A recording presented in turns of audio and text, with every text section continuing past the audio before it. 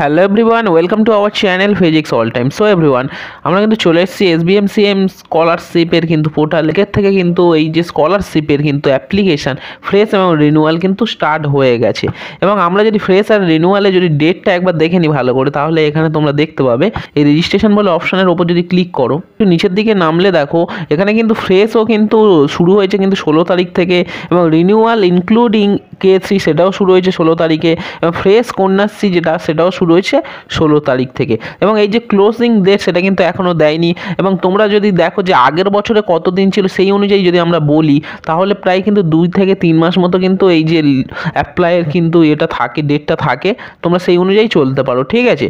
যে কবে last date রয়েছে, তোমরা যারা এখনও কোশ্চেন করছ বা তোমরা মনে মনে ভাবছ, তাদের ক্ষেত্রে এই, এইটুখানি কিন্তু বলা যেতে পারে, ঠিক আছে? তোমরা যদি মার্কস দেখো এবারে, এখানে কিন্তু এই যে অ্যাবাউট সেকশন আছে, এই অ্যাবাউট সেকশনে ক্লিক করলে কিন্তু সমস্ত কিছু মার্কস ডিটেলস অ্যাবাউট সব কিছু কিন্তু চলে আসে। কিন্তু এখন কিন্তু সার্ভারটা ওরা যেহেতু কালকের থেকে সবে লঞ্চ করেছে, সেহেতু হয়তো সম্পূর্ণরূপে সার্ভারটা এখনও ঠিকঠাক হয়নি। দিচ্ছি যে কত পার্সেন্ট মার্কস কি ডিটেলস থাকলে তবে তোমরা অ্যাপ্লাই করতে পারবে। আর তোমাদেরকে বলব, তোমরা কিন্তু সবার আগে অ্যাপ্লিকেশন করার আগে সমস্ত কিছু ডিটেলস কিন্তু তথ্য ভালো করে দেখে তারপর কিন্তু অ্যাপ্লাই করবে। কারণ একটা স্কলারশিপ তোমরা অ্যাপ্লাই করছ, তার আগে যে যে তথ্যগুলো আছে সেগুলো তোমাদের জানা দরকার। হুটার অ্যাপ্লিকেশন করে দিলে হবে না।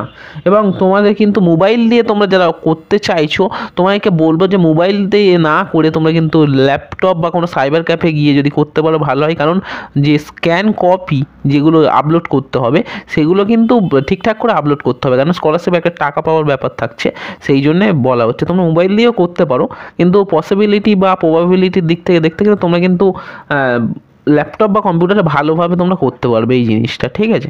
আমরা যদি দেখে নিই সমস্ত স্কলারশিপে যে মার্কস এবং কত টাকা করে কি পাবে সেইগুলো যদি, সেখানে হচ্ছে দেখো উচ্চ মাধ্যমিক লেভেলে যারা আছে এবং সেখান থেকে যারা স্নাতক লেভেলে রয়েছে, তাদের ক্ষেত্রে প্রায় সম্পূর্ণ সবাই যারা রয়েছে, তাদের ক্ষেত্রে কিন্তু সিক্সটি পার্সেন্ট মার্কস থাকলে কিন্তু এবারে কিন্তু সবাই কিন্তু টাকা পাচ্ছে বা স্কলারশিপটা পাবে।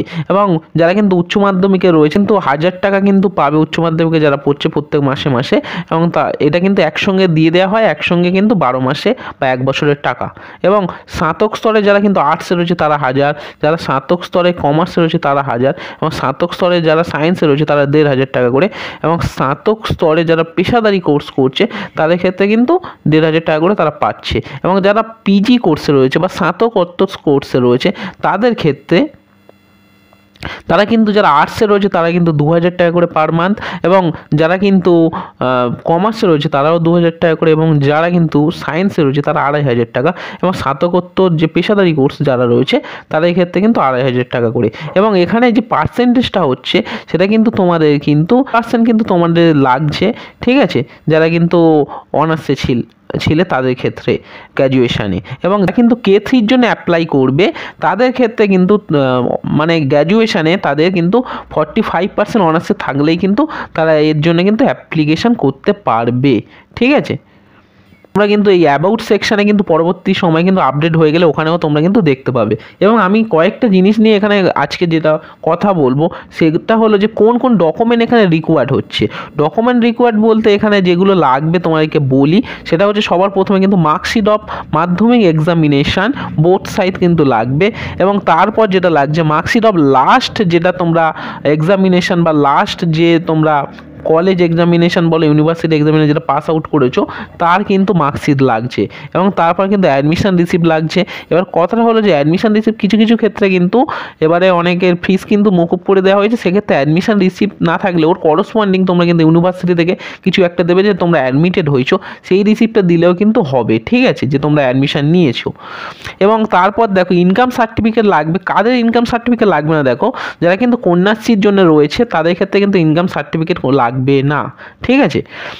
যারা কিন্তু কন্যাশ্রী বাদে এমনি নর্মাল অ্যাপ্লাই করছ, তাদের ক্ষেত্রে কিন্তু লাগবে ইনকাম সার্টিফিকেট এবার হচ্ছে ডোমিসাইল সার্টিফিকেট হিসাবে তোমরা দিতে পারো, একটা অপশান থাকবে। সেখানে আধার কার্ড দিতে পারো ভোটার কার্ড বা রেশন কার্ড বা একটা সার্টিফিকেট যেগুলো কিন্তু অথরিটি দিয়ে ইস্যু করা থাকতে পারে ডোমিসাইল সার্টিফিকেট হিসেবে সেটাও দিতে পারো।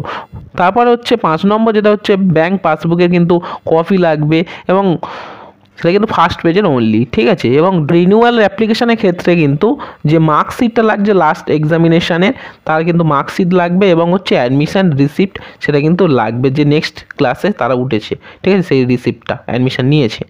এবার হচ্ছে অনেকের মনে কিন্তু দুটো কোশ্চেন সব থেকে বেশি আসে যে প্রিভিয়াস ইয়ারে তারা হয়তো কোনো কারণে অ্যাপ্লাই করতে পারেনি, সেক্ষেত্রে কি তারা অ্যাপ্লাই করতে পারবে?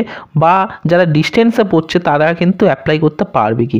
অ্যাকচুয়ালি এখানে আমি যে কোনো একটা অ্যাপ্লিকেশান আমি খুলছি যে রেজিস্ট্রেশন করার জন্য, এবং তোমার সামনে সেটা ব্যাপারটা একটুখানি ক্লিয়ার করে দিচ্ছি। দেখো, এখানে যদি আমরা এক্সামিনেশান যেটা আছে সেটা এখানে যে লাস্ট এক্সামিনেশন সাপোজ এখানে হয়তো বিএ আমি সিলেক্ট করলাম এবং এখানে যে ইউনিভার্সিটি রয়েছে, এখানে দেখো যেটা দু হাজার কুড়ি রয়েছে এবং দু হাজার একুশ রয়েছে, এখানে আমি সাপোজ যদি দু হাজার কুড়ি সিলেক্ট করি, তাহলে কিন্তু একটা এখানে কিন্তু রিজন দিতে হবে যে কি কারণে কিন্তু অ্যাপ্লিকেশন করা হয়নি। মানে যারা কিন্তু আগের বারে অ্যাপ্লিকেশন করতে পারেনি, তারা কিন্তু করতে পারবে। এখানে দেখো দুটো আবার অপশান রয়েছে।